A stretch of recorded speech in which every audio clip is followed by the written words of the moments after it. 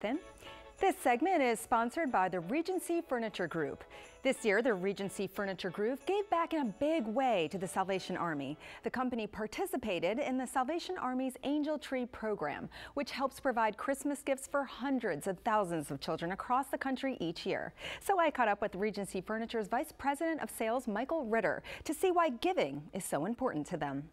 Mike, it's the season of giving, and here at Regency Furniture, you have quite a festive event. But tell us about your participation with the Salvation Army. It's really exciting um, to get everybody here, and really, we have 78 stores in, in eight states, and um, from New Hampshire down to Virginia, and we just get everybody involved to be able to help the programs with Salvation Army and Angel Tree. It's really exciting for us. Yeah. So, yeah, and you're also taking the time to give back to your employees. You had Santa here, and another surprise. oh, well, we have Randy Quaid, who's cousin Eddie from Christmas Vacation. Amazing, exciting.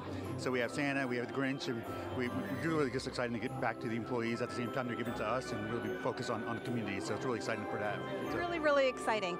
Um, and what's next for Regency Uh, Furniture? Just looking to continue to grow and be involved in our communities. Again, like I said, we had 78 stores in, in eight states. We're looking in the same states to open up more stores and also go into new markets. So really exciting for us. We've been in business for 24 years, and we just want to continue to, to really be a part of our communities and really focus on, on, our, on the growth of our company. Sure. And speaking of that, how important is it to give back, like what we're doing with the Salvation It's- Army? It's really exciting to see everybody who came today brought, it, brought a toy in for a child.